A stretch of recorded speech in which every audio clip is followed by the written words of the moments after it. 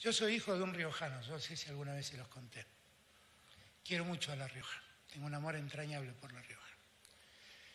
Papá, que era riojano, se fue a vivir a Buenos Aires cuando tenía 12 años para estudiar en el Nacional Buenos Aires. Y cruelmente nos traían el verano de las vacaciones a La Rioja. Con lo cual conocí La Rioja de los 50 grados, era una cosa muy impresionante.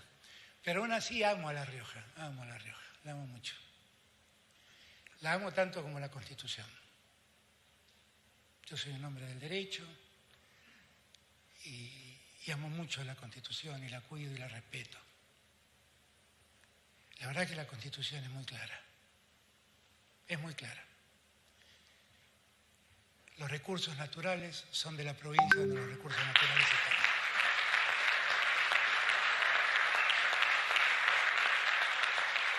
Ahora, los hermanos riojanos lo que tienen que ver es cómo ayudan a ese desarrollo, porque tal vez puedan ganar en algo con ese desarrollo.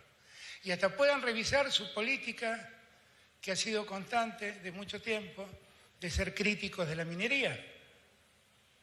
La minería, cuando se explota responsablemente y con acuerdo social, tiene sentido. Porque todo lo que está acá sería imposible si la minería no existiera. Desde esos foquitos hasta esos caños de hierro. Si todo eso no, no existiera, si la minería no existiera, no existiría donde estamos acá. Esto no existiría.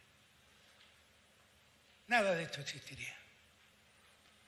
El tema de la minería es hacerlo con la responsabilidad política, con la responsabilidad social, con el acuerdo social, como se hace en San Juan.